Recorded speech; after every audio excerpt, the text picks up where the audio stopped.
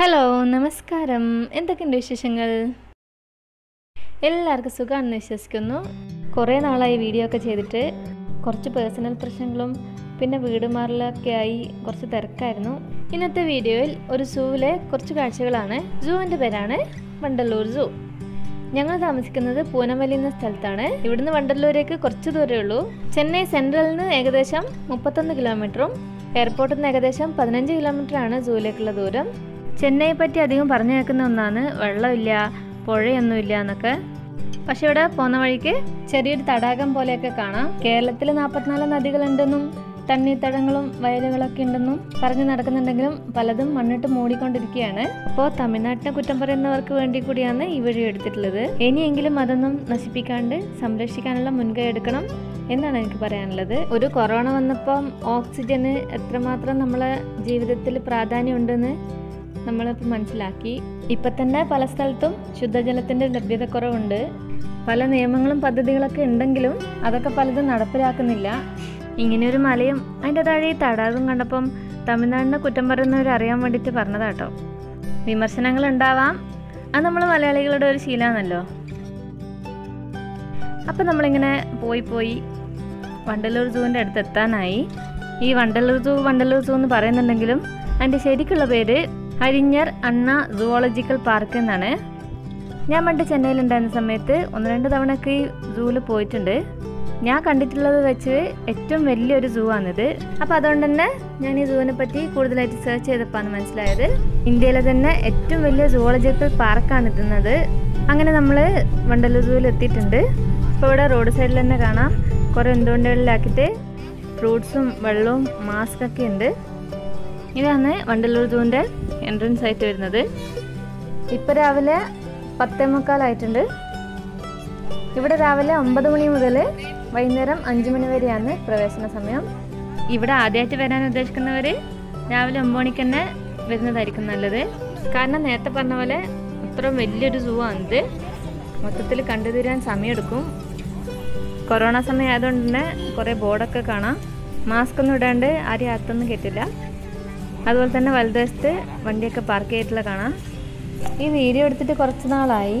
അതിനുശേഷം കൊറോണ ഒക്കെ വന്ന് ഫുള്ള് ലോക്ക്ഡൗൺ ഒക്കെ ആയി. അപ്പോൾ സൂ അടച്ചിട്ടുണ്ടായിരുന്നു. ഇതുവരെ തുറന്നിട്ടില്ല. ലോക്ക്ഡൗൺ ഒക്കെ മാറിക്കഴിഞ്ഞാൽ തുറക്കുന്നു പ്രതീക്ഷിക്കാം. പിന്നെ ഇവിടെ ചെരുപ്പൊക്കെ സാനിറ്റൈസ് ചെയ്യുന്ന രീതിയിൽ വെച്ചിട്ടുണ്ട്. നമ്മളെ കൂടെ പൊന്നൂട്ടിനും ധനശ്രീയും ലതിശേട്ടനൊക്കെ ഉണ്ട്. ഈ വീഡിയോയിൽ വണ്ടല്ലൂർ സൂവിന്റെ പ്രത്യേകതകളും പിന്നെ കുറേ മൃഗങ്ങളെക്കുറിച്ചൊക്കെ പറയുന്നുണ്ട്. അതുകൊണ്ട് പറ്റുന്ന ഒരു വീഡിയോ മുഴുവനായിട്ട് തന്നെ കാണാൻ ശ്രമിക്കുക. ഇനി ടിക്കറ്റ് എടുക്കണം. രണ്ട് സ്ഥലത്ത് കൗണ്ടർ ഉണ്ട്. അപ്പോൾ ഇനി ടിക്കറ്റിന്റെ റേറ്റ് ഒക്കെ എത്രയാണെന്ന് നോക്കാം. റീസണബിൾ പ്രൈസ് ഒക്കെയാണ്. വലിയവർക്ക് തൊണ്ണൂറ് രൂപയും അഞ്ച് വയസ്സ് മുതൽ പന്ത്രണ്ട് വയസ്സ് വരെ ഉള്ളവർക്ക് അമ്പത് രൂപയും. പിന്നെ ക്യാമറക്ക് ഹാൻഡിക്യാമിന് വീഡിയോ ക്യാമറക്കൊക്കെ വേറെ സെപ്പറേറ്റ് റേറ്റും ഉണ്ട്. അതുപോലെ തന്നെ രണ്ട് വണ്ടികളുണ്ട്. സൂ റൗണ്ട് വെഹിക്കിൾ പിന്നെ lion and deer safari vehicle രണ്ടിനും വേറെ വേറെ തന്നെ ചാർജാണ് അഡൽറ്റിന് നൂറ് രൂപയും കുട്ടികൾക്ക് അൻപത് രൂപ അറുപത് രൂപ എന്നിങ്ങനെയാണ്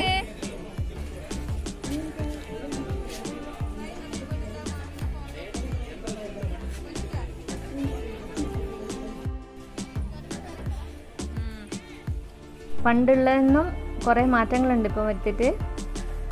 പിന്നെ കൊറോണ സമയം തോന്നും ഫുഡൊക്കെ അലോ ചെയ്യുന്നുണ്ട്. ഞാൻ ആദ്യം പറഞ്ഞിരുന്നു ഇന്ത്യയിലെ തന്നെ ഏറ്റവും വലിയ സൂ ഏകദേശം അറുന്നൂറ്റി രണ്ട് ഹെക്ടർ വിസ്തൃതി ഉണ്ട് ഇതിന്. അതുപോലെ തന്നെ ഏകദേശം ഒരു കൊല്ലത്തിൽ ഇരുപത്തൊന്ന് ലക്ഷത്തോളം ആൾക്കാർ ഇത് വിസിറ്റ് ചെയ്യുന്നുണ്ട് എന്നാണ് കണക്ക്. അങ്ങനെ ഉള്ളിൽ കയറി കഴിഞ്ഞാൽ ആദ്യം തന്നെ കാണുന്നത് ഒരു മനോഹരമായിട്ടുള്ള വെള്ളച്ചാട്ടമാണ്.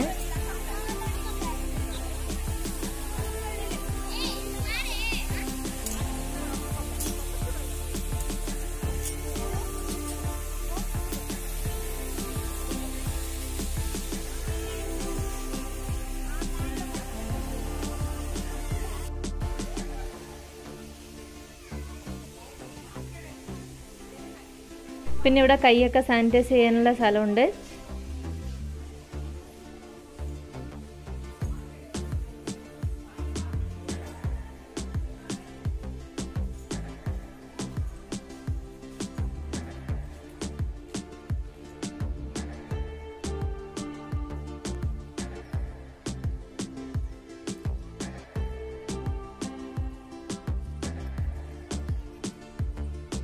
അപ്പം നമ്മൾ ജസ്റ്റ് ഉള്ളിൽ വന്നിട്ടുണ്ട്. അപ്പോൾ അവിടെ തന്നെ വലിയൊരു മാപ്പ് കാണാം സൂവിന്റെ ഇതിനകത്തിന് നമ്മളിപ്പോൾ എവിടെ ഉള്ളതെന്നുള്ളത് മാർക്കറ്റ് ഉണ്ടാവും ഡോറാബുജി പറയുന്ന പോലെ പലപ്പോഴും നമുക്ക് മാപ്പിന്റെ സഹായം വേണ്ടി വരും. ഇവിടെ കുറേ മൃഗങ്ങളും പക്ഷികളൊക്കെ ഉണ്ട്. അപ്പോൾ അതിനെല്ലാത്തിനെയും കണ്ടു തീർക്കാൻ തന്നെ ഒരു ദിവസം മൊത്തമായിട്ട് വേണം. അതുകൊണ്ട് ഇങ്ങോട്ട് ആദ്യമായിട്ട് വരുന്നവർ നേരത്തെ തന്നെ വരാൻ നോക്കുക.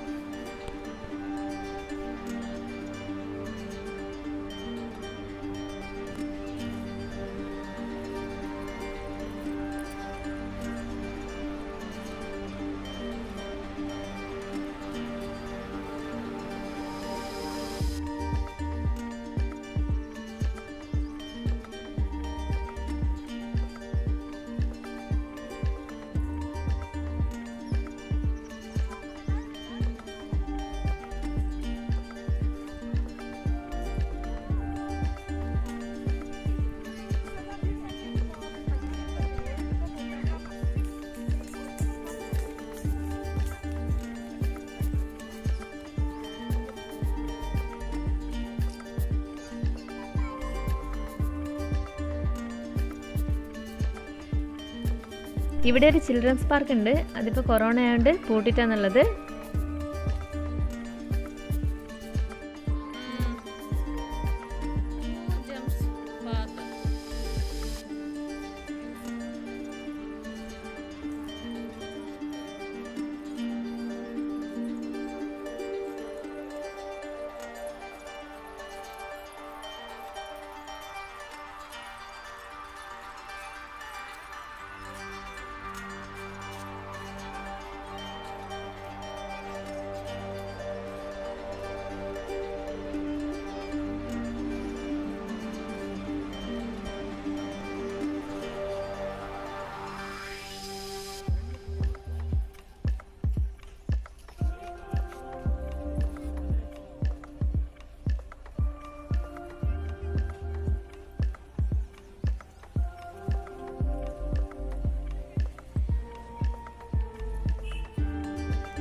Lion സഫാരിന്റെയും dear സഫാരിന്റെയൊക്കെ വണ്ടികളുണ്ട്.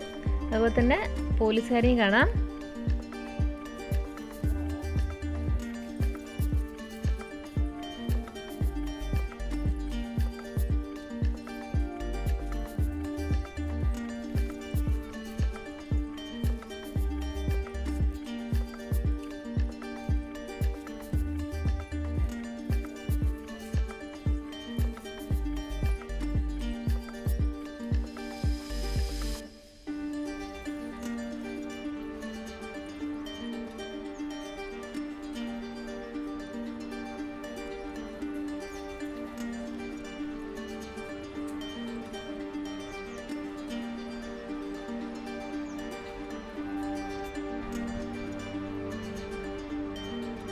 ഈ പാർക്കിൽ ഇടക്കിടക്കൊക്കെ ഇങ്ങനത്തെ ബോർഡ് വെച്ചിട്ടുണ്ട്. അതിനകത്തിൽ rabbit can leap up to to point five metre ഹൊറിസോണ്ടലിൽ നിന്ന് എഴുതിയിട്ടുണ്ട്.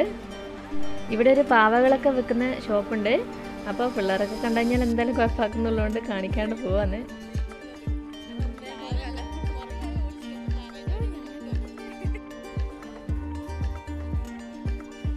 ഇവിടെ നമുക്ക് സൈക്കിളിൽ പോകാൻ പറ്റും. അപ്പോൾ അവിടെ സൈക്കിളിന്റെ റേറ്റ് ഒക്കെ എഴുതി വെച്ചിട്ടുണ്ട്. ചിൽഡ്രൻസിന് അഡൽട്ട് ഇലക്ട്രിക്കൽ ടാൻഡം എന്നെല്ലാം പറഞ്ഞിട്ട് കുറേ എഴുതി വെച്ചിട്ടുണ്ട്. പിന്നെ ഇവിടെ കുറേ ടേംസ് ആൻഡ് കണ്ടീഷൻസ് ഒക്കെ എഴുതി വെച്ചിട്ടുണ്ട്. ഇത് ഓരോ മണിക്കൂറിനുള്ള റേറ്റ് ആണ്. അതുപോലെ തന്നെ ഡബിൾസ് ഒന്നും അലൗഡ് അല്ല എന്ന് പറഞ്ഞിട്ട് എഴുതി വെച്ചിട്ടുണ്ട്. അങ്ങനെ ഇവിടുന്ന് ടിക്കറ്റ് വാങ്ങിയിട്ട് ഏത് സൈക്കിളാണ് വേണ്ടതെന്ന് പോയിട്ട് നോക്കിയിട്ട് വരാം.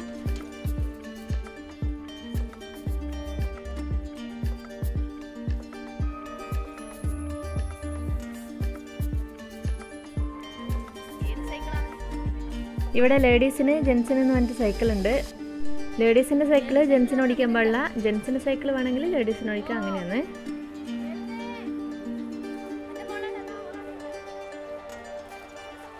അപ്പോൾ അവർ സൈക്കിൾ ചെക്കെല്ലാം ചെയ്തിട്ട് തരും.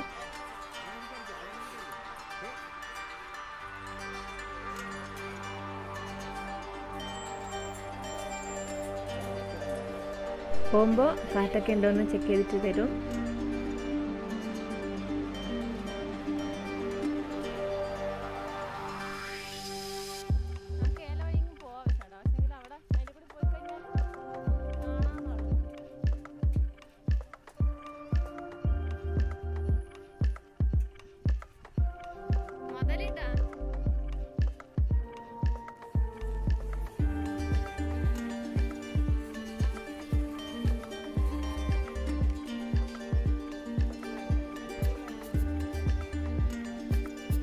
ഇവിടെ എല്ലാവരും ഉറക്കത്തിലാന്ന് തോന്നുന്നു.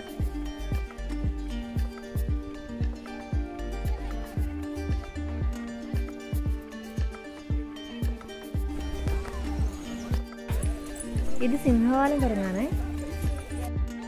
നേരത്തെ കണ്ടവരെ പോലെയല്ല ഇവിടെയുള്ളവർ ഭയങ്കര ആക്റ്റീവാണ് ഇതിനിങ്ങനെ കളിക്കാനായിട്ട് കയറൊക്കെ കെട്ടിക്കൊടുത്തിട്ട് കാണുന്നുണ്ട്.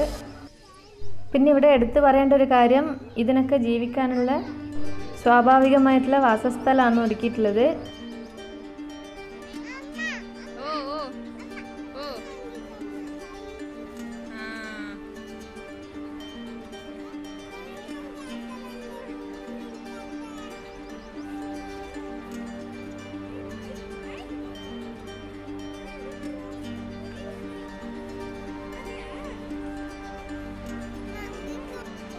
ഇവിടെ സിംഹവാലം കുരങ്ങിനെ പറ്റിയിട്ട് ചെറിയൊരു വിവരണം കൊടുത്തിട്ടുണ്ട്.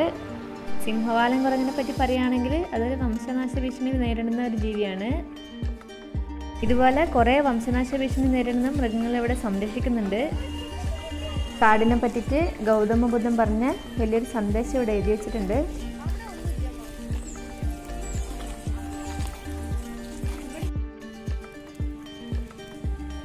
പിന്നെ പോകുന്ന വഴിയിൽ ഇവിടെ ഒരു അക്വേറിയം കാണാം. അതും കൊറോണ ആയതുകൊണ്ട് അടച്ചിട്ടാണുള്ളത്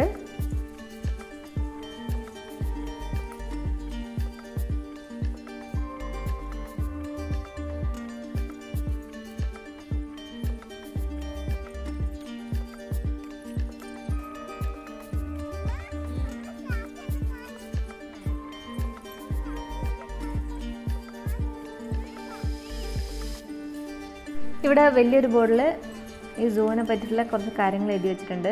ഇതാണ് ഇന്ത്യയിലെ തന്നെ ആദ്യത്തെ മൃഗശാല. ആയിരത്തി എണ്ണൂറ്റി അൻപത്തഞ്ചിലാണ് ഇത് ആരംഭിച്ചിട്ടുള്ളത്. ചെന്നൈയിൽ തന്നെയുള്ള മൂർ മാർക്കറ്റിൽ നിന്ന് ഇങ്ങോട്ടേക്ക് മാറ്റിയതാണെന്ന് പറയുന്നത്.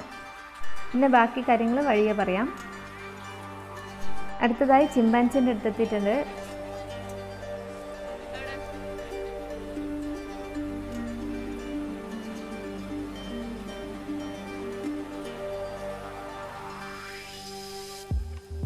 ഇവിടെ ഇപ്പോൾ രണ്ടാളെ കാണാം. ഒരാൾ ഉറങ്ങുകയാണ്. ഒരാൾ അവിടെ മരത്തിന്റെ മേലെ ഇരിക്കുന്നുണ്ട്. ഈ മൃഗങ്ങൾക്കൊക്കെ അവർ ജീവിക്കുന്ന ചുറ്റുപാട് തന്നെയാണ് ഒരുക്കിയിട്ടുള്ളത്.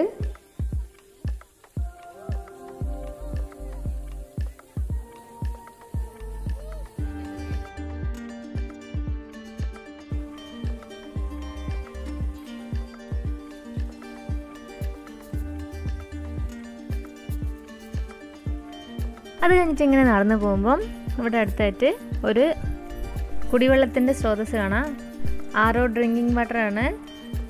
അവിടുന്ന് കുറച്ച് പേര് വെള്ളം എടുക്കുന്നതും കാണാം. അതുപോലെ പല സ്ഥലത്തും ഇങ്ങനെ കുടിവെള്ളത്തിന്റെ സ്രോതസ് വെച്ചിട്ടുണ്ട്.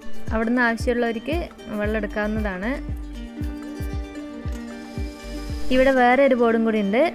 ചില ആനിമൽസിനെ പറ്റിയിട്ടുള്ള ഇൻട്രസ്റ്റിംഗ് കാര്യങ്ങൾ എഴുതി വെച്ചിട്ടുണ്ട്. അതിനകത്തിൽ ഹിപ്പോപ്പൊട്ടാമസിന് മുപ്പത് മിനിറ്റ് വരെ വെള്ളത്തിന്റെ അടിയിൽ ശ്വാസം പിടിച്ച് നിൽക്കാൻ പറ്റും. പിന്നെ ഒരു മരം കൊത്തിക്ക് സെക്കൻഡിൽ ഇരുപത് തവണ വരെ കൊത്താൻ പറ്റും എന്നൊക്കെ എഴുതി വെച്ചിട്ടുണ്ട്. പിന്നെ ഇവിടെ കുറേ ചിത്രശലഭങ്ങളുടെ ഫോട്ടോയും പിന്നെ അതിന്റെ പേരൊക്കെ എഴുതി വെച്ചിട്ടുണ്ട്. പിന്നെ ഇവിടെ അടുത്ത് തന്നെ ഒത്തേരി ലേക്ക് എന്ന് പറഞ്ഞൊരു തടാകമുണ്ട്. അവിടെ പോയിട്ടില്ല.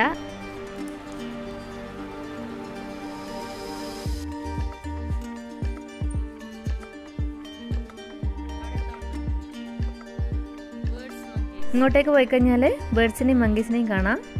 ഇവിടെ കുറേ തരത്തിലുള്ള മയിലും പിന്നെ കുറേ പക്ഷികളെയും കാണാം. ഇവിടെ മയിലിനായിട്ട് വലിയ കൂടാന്നുള്ളത് അവിടെ ഇവിടെയൊക്കെ ആയിട്ട് കുറേ മയിലുകളുണ്ട്. നമുക്ക് നോക്കാം.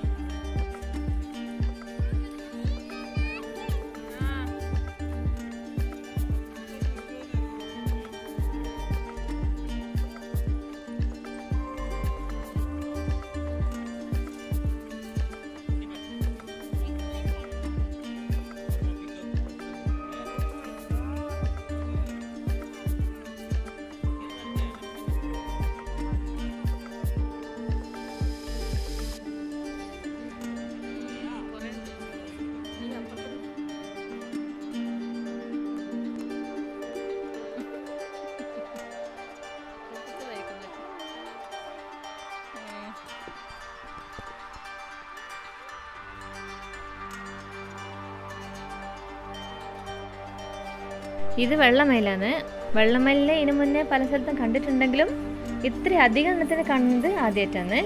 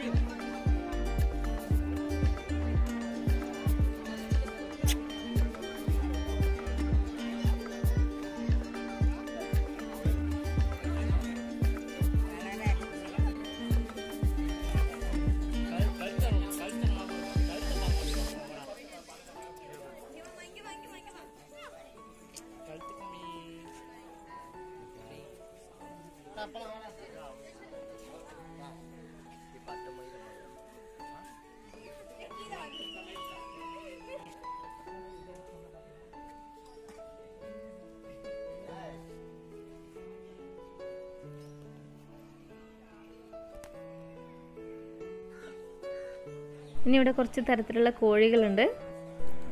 ക്യാമറയിൽ അതിന് മര്യാദയ്ക്ക് കാണുന്നില്ല.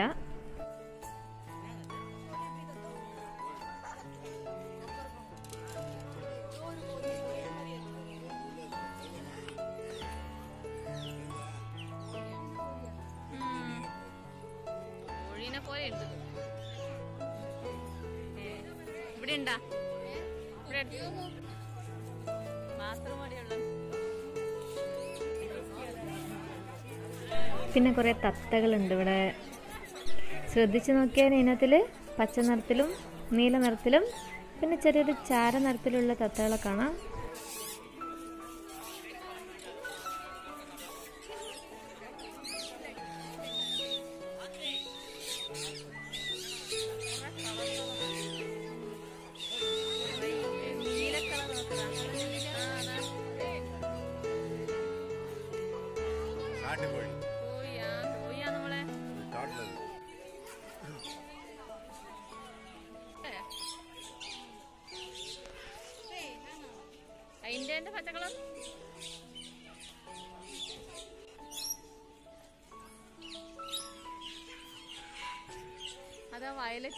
ഒരു മാന് വഴിതെറ്റി വന്നതാന്ന് തോന്നുന്നു. പക്ഷേ അതിന് ആൾക്കാരെ കാണുമ്പോൾ വലിയ പേടിയൊന്നുമില്ല. ഞാനിതൊക്കെ അത്ര കണ്ടിരിക്കുന്നു എന്നുള്ള ഒരു ഭാവമാണ് നടക്കുക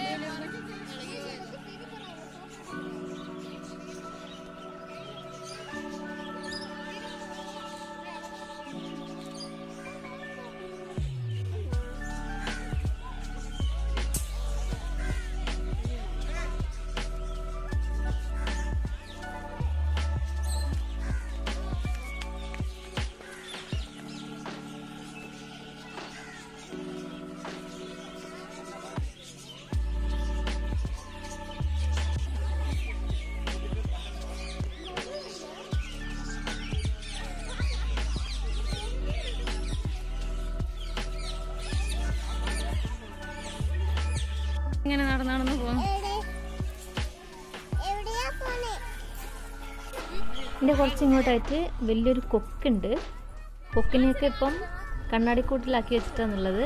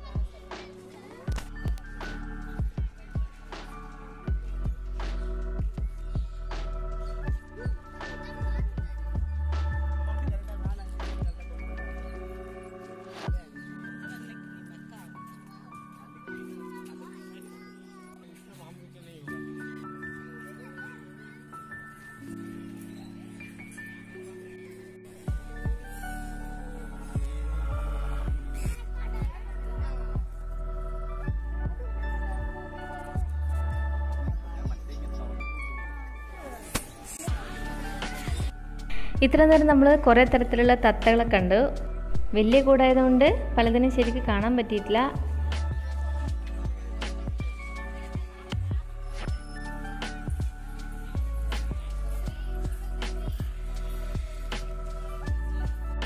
ഇനി കുറച്ച് വലിയ പക്ഷികളാണ്. ഇത് ഗ്രേറ്റർ റിയ. ഈ വലിയ പക്ഷികൾ അധികവും വംശനാശ ഭീഷണിന്റെ വക്കിലുള്ളവയാണ്. പിന്നെ ഇവിടെ ഒരു കറുത്ത അരയനുണ്ട് ഇവിടെ വംശനാശ ഭീഷണി നേരിടുന്ന പല മൃഗങ്ങളെയും പക്ഷികളെയൊക്കെ സംരക്ഷിക്കുന്നുണ്ട്. പിന്നെ ഇതിന്റെ പുതിയ തലമുറനെ ഉണ്ടാക്കുകയൊക്കെ ചെയ്യുന്നുണ്ട്. ഇവിടെ മൃഗങ്ങളെ സംരക്ഷിക്കുന്നതിന്റെ കൂടെ തന്നെ നമുക്ക് അതിനെ അഡോപ്റ്റ് ചെയ്യാനുള്ള സൗകര്യം കൂടി ഉണ്ട്. ഇവരുടെ ഒരു സൈറ്റ് ഉണ്ട്. അപ്പോൾ അതിനകത്ത് പോയിട്ട് നമുക്ക് അഡോപ്ഷൻ ചെയ്യാവുന്നതാണ്. അവരുടെ സൈറ്റിന്റെ ലിങ്ക് ഞാൻ ഡിസ്ക്രിപ്ഷൻ ബോക്സിൽ ഇടുന്നുണ്ട്. അടുത്തതായിട്ട് ഇവിടെ വേറെ വലിയൊരു പക്ഷിനെ കാണാം. അതിന്റെ പേര് ഗ്രേറ്റർ അഡ്ജറ്റന്റ് സ്റ്റോപ്പ്. ഇതിന്റെ പ്രത്യേകത എന്താണെന്ന് വെച്ചാൽ ഇതിന്റെ കഴുത്തിൽ ഒരു വലിയൊരു പൗച്ചുണ്ട് വീഡിയോയിൽ കറക്റ്റായിട്ട് കാണാത്തതുകൊണ്ട് അതിന്റെ ഒരു ഫോട്ടോ ഞാൻ ഈ കോർണറിൽ ഇട്ടിട്ടുണ്ട്. അടുത്ത പക്ഷിയാണ് കാസവാരി. ഇതിന് മണിക്കൂറിൽ അമ്പത് കിലോമീറ്റർ വരെ ഓടാനുള്ള കഴിവുണ്ടെന്ന് പറയുന്നു. എന്തായാലും നല്ല ഭംഗിയുണ്ട് കാണാൻ. ഇത്രയേരം കണ്ടതിനെ പലരും ആദ്യമായിട്ടായിരിക്കും കാണുന്നുണ്ടാവുക. പക്ഷേ എമ്മുവിനെ പലരും കണ്ടിട്ടുണ്ടാവും. ഏറ്റവും വലിയ രണ്ടാമത്തെ പക്ഷിയാണ് ഈ എമ്മു എന്ന് പറയുന്നത്. ഇവിടെ പലതരത്തിലുള്ള മാനിന്റെ ഫോട്ടോസ് കാണാം.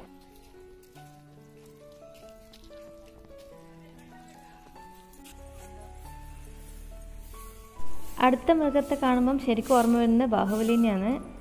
ഇതിന്റെ പേര് ഇന്ത്യൻ ഗോർ. മലയാളത്തിൽ നമുക്ക് കാട്ടുപോത്ത് എന്നൊക്കെ വിളിക്കാം. ഇതിനിപ്പം തീറ്റ ഇട്ട് കൊടുത്തിട്ടുള്ളത്. അപ്പോൾ എല്ലാവരും തിന്നാനുള്ള തിരക്കിലാണ്.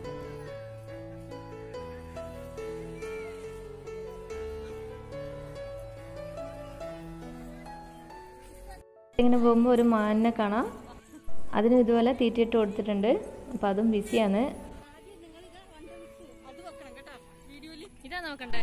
അടുത്ത ഒരാൾ വെള്ളത്തിന്റെ കൂടി ഇങ്ങനെ എഴഞ്ഞു വരുന്ന കാണാം. പാമ്പൊന്നും അല്ല കേട്ടോ അതൊരു നീർനായിയാണ് കക്ഷി രണ്ട് കാലിലൊക്കെ എണീച്ചൊന്ന് നോക്കുന്നുണ്ട്. ക്യാമറയ്ക്ക് പോസ് ചെയ്യുന്ന പോലെയുണ്ട്. ഇതിനിപ്പോൾ ഒരാൾ മീൻ കൊണ്ട് കൊടുക്കുന്നുണ്ട്. ചിലപ്പോൾ അതിന് വേണ്ടിയിട്ടുള്ള വെയിറ്റിംഗ് ആയിരിക്കും. എന്തായാലും ഇതിന്റെയൊക്കെ കളികൾ കാണാനൊക്കെ നല്ല രസമുണ്ട്.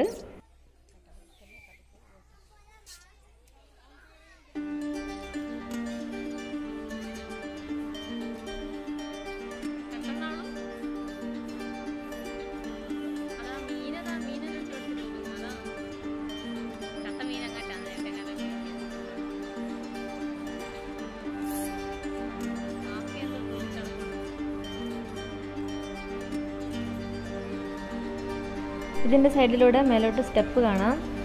മേലെ കയറി കഴിഞ്ഞാൽ മൃഗങ്ങളെയൊന്നും കാണാൻ പറ്റില്ല പക്ഷേ ഇത് കുറച്ച് ഉയരത്തിലുള്ള സ്ഥലമായതുകൊണ്ട് നമുക്ക് കുറേ ദൂരത്തിലുള്ള കാഴ്ചകൾ കാണാൻ പറ്റും.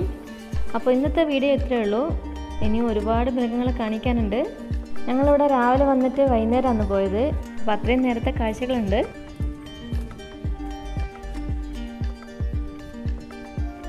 അപ്പോൾ വീഡിയോ ഇഷ്ടമായി കഴിഞ്ഞാൽ ലൈക്ക് ചെയ്യുക നിങ്ങളുടെ അഭിപ്രായങ്ങൾ കമന്റ് ചെയ്യാൻ മറക്കരുത്. Thanks for watching